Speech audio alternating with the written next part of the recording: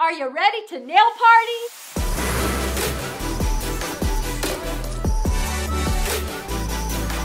I will be using my Competitive Edge Custom Original Double Thick Extra Long Nail Forms, my Clean It, my Extra Adhesion Nail Liquid, my Deep Well Ceramic Dap Dish, my Covered Up Peach Nail Powder, my Abstract Summer Collection in Cosmo Crush, Fresh and Fruity, and New Flame, my Flawless Base, my Flawless Finish, my Bold Striper Art Brush, my 3D Art Brush, my large flat Kolinsky Red Sable Brush, and my towelettes.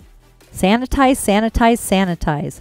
And I will be using my Crystal Spray Decanter, available in peach, gardenia, vanilla sandalwood, and fragrance free.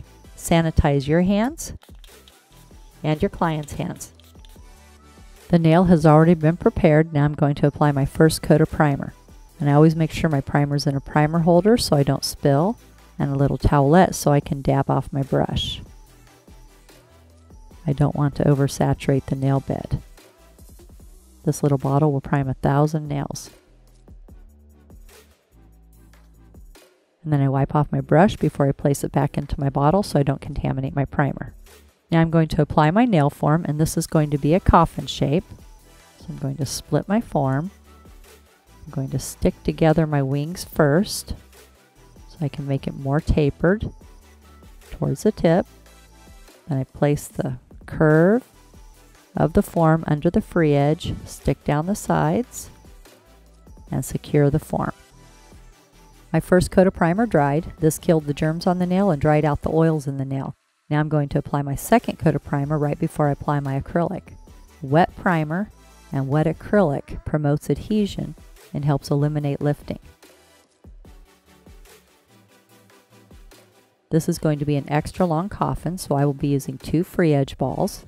I dip my brush all the way into the metal, wipe away from me, only wiping off a little bit of liquid so I can get a large ball, drag across my powder, get a nice large ball, place this ball halfway down the nail form, one, two, three, and pat it out, bring it up, bring up the sides, start getting the shape that I want, stroke it out to thin out that tip,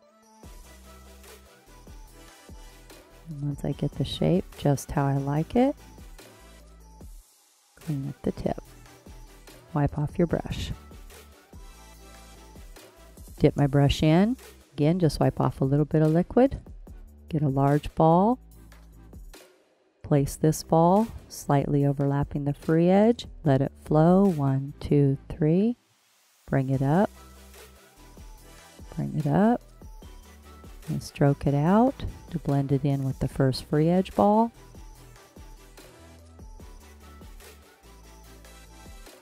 Get it nice and blended. Wipe off your brush. My next ball is going to be a small ball. Dip my brush in, wipe away more liquid, and pick up less powder. Place this ball halfway down the nail bed. Let it flow. One, two, three. Stroke it out. Side, side, center. Wipe off your brush. Another small ball. Dip your brush in. Wipe it away. Less liquid. Less powder. Place this ball 1 32nd of an inch away from the cuticle. Let it flow. One, two, three. Stroke it out, side, side, center. Now my fourth ball, this is my stress ball. Also, this ball is really good if you have a little area. Maybe it's a little low. You can make sure you push a little bit more into that area, which is right in there. This is going to be a small to medium ball and I'm going to be using it wet so it flows really easy. Dip your brush in Wipe it away just a little bit because I want a lot of liquid, but I'm going to pick up just a little bit of powder. That way I have a nice wet ball. I'm going to place this almost at the cuticle, release liquid, and then stroke it out. And I'm going to fill in this little spot right over here. I love that fourth ball. Wipe off your brush. As the nail is starting to dry, I'm going to squeeze my C-curve starting down at the nail bed applying pressure out towards the tip. This makes the nail nice and tapered and really strong. Now I'm going to remove the nail form. I squeeze together the tip, bend it down, remove the form. I will be using my disposable 180 grit long lasting zebra file and this has a special zinc oxide coating on it that makes it really easy to file as it glides over the nail. And I will be using my disposable clean finish buffing file and this is made out of material. It's not made out of paper, so it doesn't leave any grit on the nail. And this can be used dry or it can be used with oil. And they're very easy to put onto the board. Just peel off the back, hold your board, place the strip onto your board and press it down. Peel it off, hold your board, and just stick it on. And you're ready.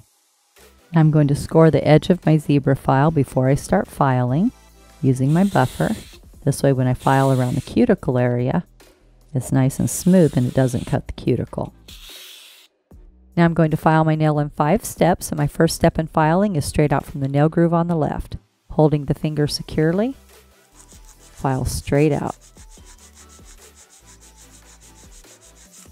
Step number two, straight out from the nail groove on the right. Holding the finger and the nail securely, file straight out.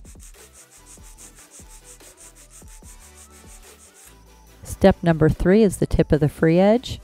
This is going to be a square, so I hold the finger and the nail securely. I hold the file straight up and down and go straight across.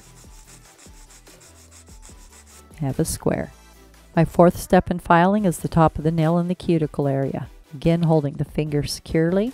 File in long strokes, down on the side, across the top, down on the other side. Down on the side, across the top, down on the other side.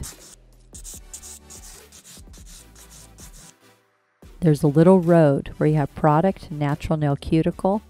You place your file in that little road and file the product flush with the natural nail.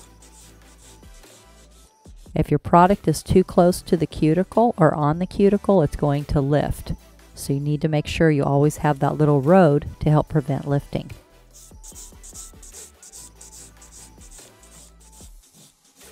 Again, nice long strokes. Down on the side, across the top, down on the other side in a horseshoe pattern. I don't want to just go straight like this because it'll make the nail flat. So you always go down on the side, across the top, and down on the other side. Step number five, turn the nail around from the client's angle. This is the angle they're going to be looking at for the next two weeks, and you want to make sure it looks beautiful from their angle and bevel down towards the tip.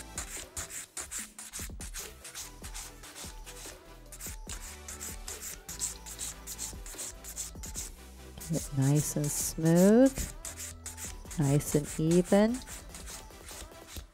And you get it just how you like it. Nice and even, and you'll know that it's even when there's no shiny spots or high-low spots.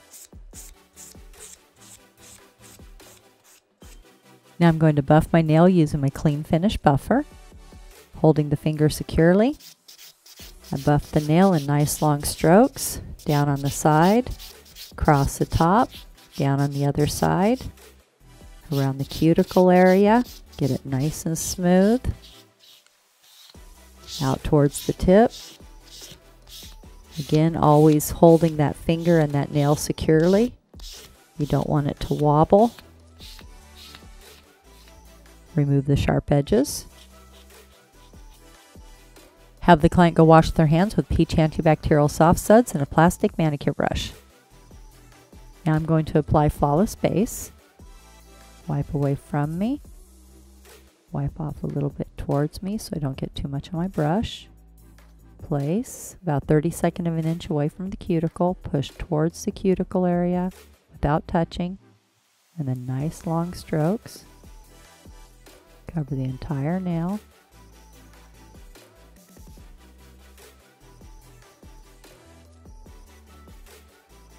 Very lightly cap the tip.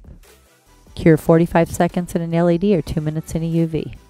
Now I'm going to pour a little bit of Clean It in my glass dish to keep my brush clean. I will be starting with New Flame, a violet magenta. Wipe away from me, lightly towards me. Place 1 32nd of an inch away from the cuticle. Go push towards the cuticle without touching. Go all the way around your cuticle area. And stroke it all the way to the end. Make sure you get enough on there.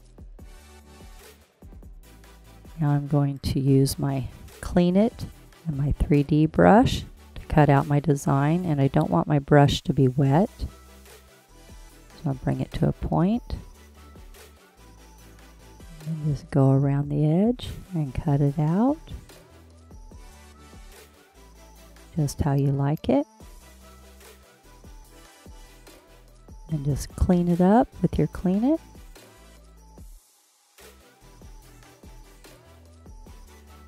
Then after you've cleaned it up with your Clean It, cure 30 seconds for a half cure. My next color is Cosmo Crush, a bright salmon. Wipe away from me, slightly towards me. Place my brush. Get a good amount. I'm going to follow my design.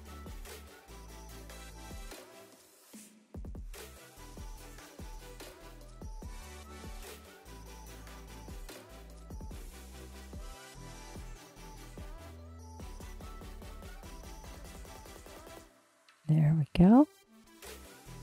Now I'm going to clean it. I'm going to cut out my design.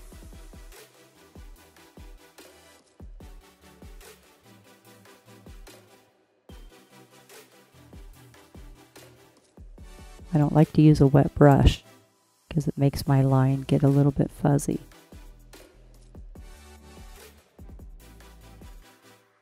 There we go. If I want to get in this little thin line right here to clean, I'm going to use my bold striper. Right here.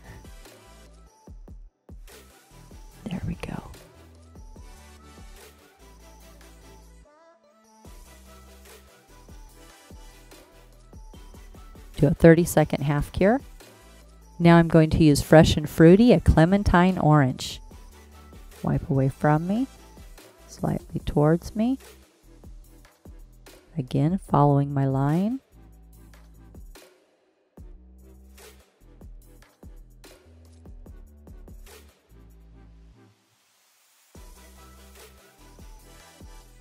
There we go. Using my bold striper brush, I'm going to clean out the space between my colors. Again, I don't like to use it wet. I just want to make sure it's clean and to the point. And then just clean it out a little bit. There we go. Now I'm going to do a full cure, one minute in LED or two minutes in a UV. Now I'm going to apply Flawless Finish, my super high gloss top gel, especially for gel polish.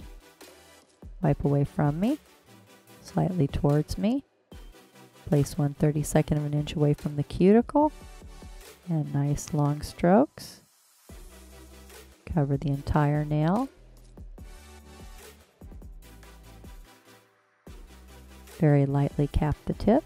Cure 45 seconds in an LED or 2 minutes in a UV. Now I'm going to clean off my nail with Clean It and a towelette. Now I'm going to apply my all natural cuticle oil available in peach, gardenia, and vanilla sandalwood. This is so good for the cuticles and the nail. Helps eliminate hangnails and it helps the natural nail grow out healthy. And it feels good and it smells really good. Now we have the Abstract Summer Collection on a long coffin acrylic. And it's so easy to clean up. Just peel off your file strip. Disinfect your plastic boards. Fold up your towel and throw everything away. Make sure to subscribe to my channel and give this video a thumbs up. And remember, at Tammy Taylor Nails, nails are always fun and never feel like work.